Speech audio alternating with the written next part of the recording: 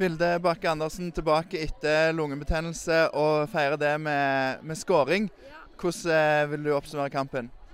Um, første omgang var ikke så bra som vi pleier, så, men så gjør vi det vi skal i andre, så ender vi med seier. Så det var veldig kjekt.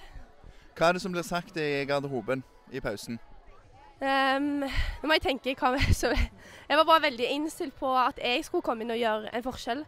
Men eh, det var at vi ikke gjorde det vi skulle og ikke vant dueller. Og så gikk vi ut i andre omgang og begynte å vinne dueller, så da endte det med at vi vant.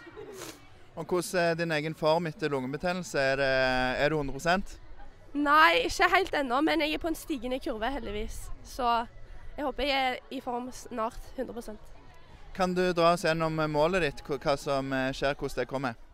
Eh, det var jo Sandnes som ble spilt igjennom, og så tenkte jeg bare nå må jeg komme foran, så vi blir 1-1. Og så skjedde heldigvis det. Så fikk jeg ballen, så var det bare å få den i mål, og så var det rett opp til avspark og skåre det andre òg.